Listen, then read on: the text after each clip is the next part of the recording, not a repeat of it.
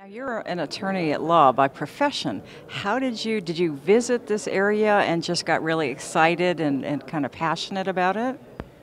Yes, uh, but it's it's a little more complicated than that. I, I, actually never thought I would be in Cambodia. The the draft, uh, mercifully, was a few numbers above my uh, location, and so I didn't end up going to the Vietnam War. And uh, I think that I had an aversion to going to that area completely. But as it turned out, I had a business venture that uh, was with a gentleman who is, for lack of a better word, like the king of Cambodia. He's not the king of Cambodia, but much like the king of Siam in the king and I who wanted to bring his country into the, the current century at that time, this gentleman is immensely powerful in that country. He's not political, but he has incredible power and vision. And we got talking. He's a young man, and he says, "You got to come visit."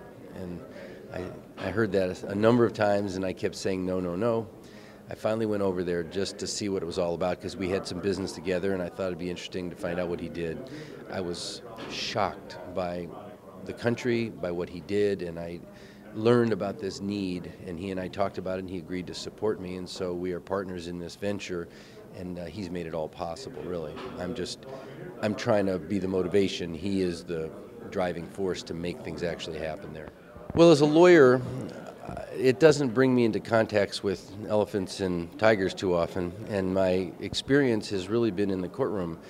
But it happens that I love animals, and people that I know have come to me periodically and said there are terrible problems with animals in this location or in that location here in Los Angeles.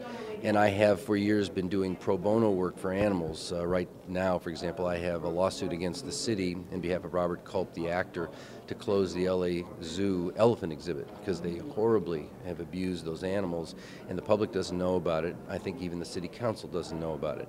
And I have tried periodically over the years in a number of ways to help uh, animal causes and make a difference.